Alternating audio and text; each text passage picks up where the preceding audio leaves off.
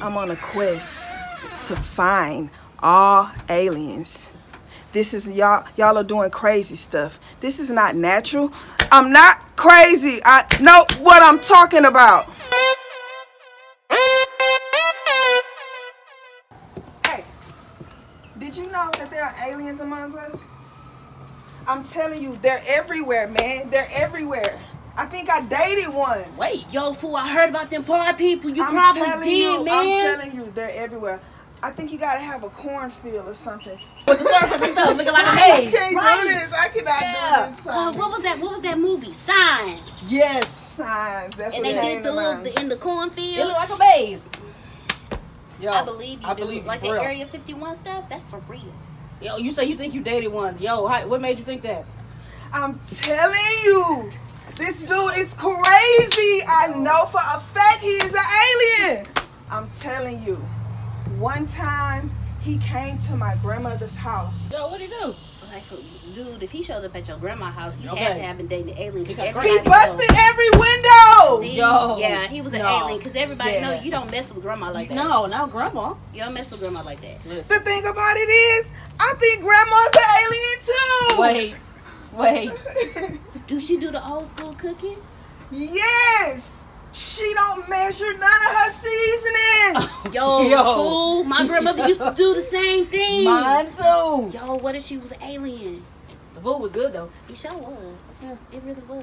Maybe y'all are aliens. Nah, okay, well, well, no, you know what? I, mm, We're gonna plead the fifth on that one. that's a that's a good question. It could be. It could be. That- That's You're acting like one. What is going on around here? What is wrong with you people?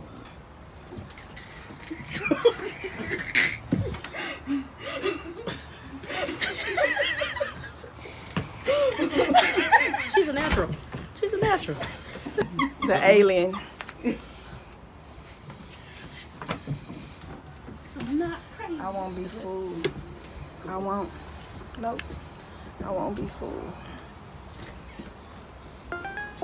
Get away from me, Tony.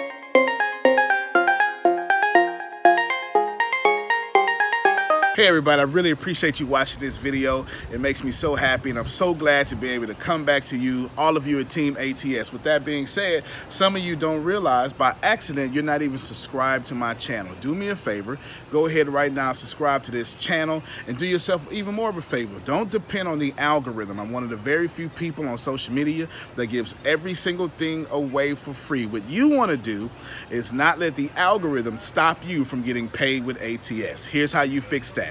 What you can do is hit that little bell up top.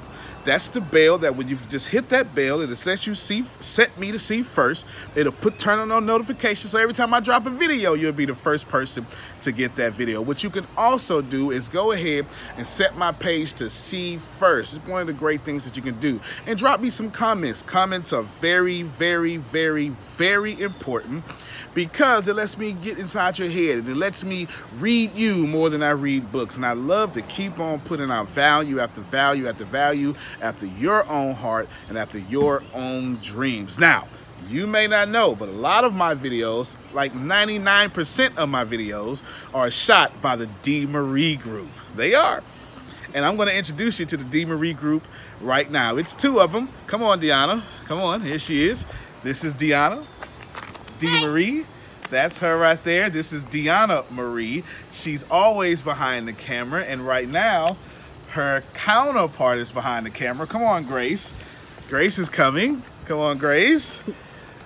Here is Grace. This is Grace. These two have always, this is actually employee number one, and then Deaunna's employee number two. I sure appreciate you. These two are always behind the camera, always with me. So when you support me, when you hit me at like, share, and subscribe, please know you're directly putting money in the pocket of those two beautiful women. Antonio T. Smith Jr., you can plan better. You can dominate.